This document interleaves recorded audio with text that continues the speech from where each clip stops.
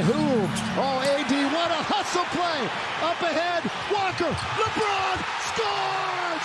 LeBron! He's one away from tying and two away from the record. Timeout. Thunder. Fans are staying on their feet. They're trying to will the Lakers not only to get back. But LeBron has it 15 feet away from the goal. LeBron for the record. Got it. He's done it. LeBron James is now the all-time leading scorer in the history of the NBA. The king wears the crown. And you can see the relief on his face. You can see the relief on his face. The weight off his shoulders. All time. There's never, ever been a player that's laced them up that has scored more points than LeBron James. They stopped the game as presenting the ball also to have Kareem probably come out and handing the ball as passing the torch, so to speak. His sons are out with him. What a moment.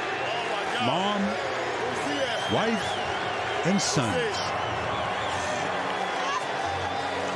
And out.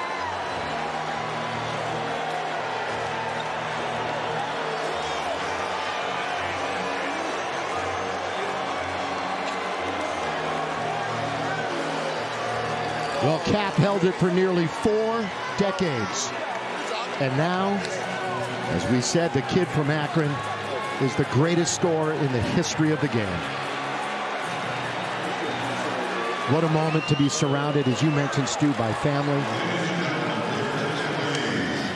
At this time, join us in honoring LeBron James. Turn your attention now to the video board as we begin our special presentation. Well, simply put, Dan, LeBron James is the best high school basketball player I have ever seen. I mean, they say I'm the best player in the country, and I wanted to keep it that way. pick in the 2003 NBA draft, the Cleveland Cavaliers select LeBron James. Probably the most anticipated debut. At center court, NBA Commissioner Adam Silver is joined by the legend who has held the all-time scoring record since 1984, the captain, Kareem Abdul-Jabbar.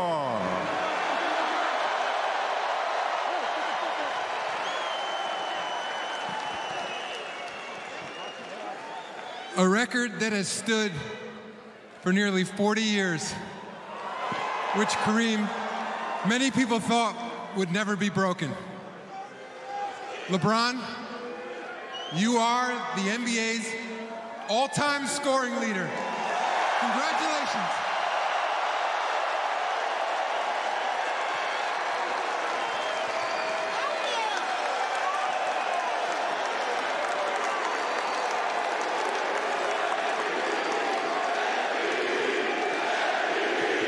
The new all-time scoring leader, number six, LeBron James.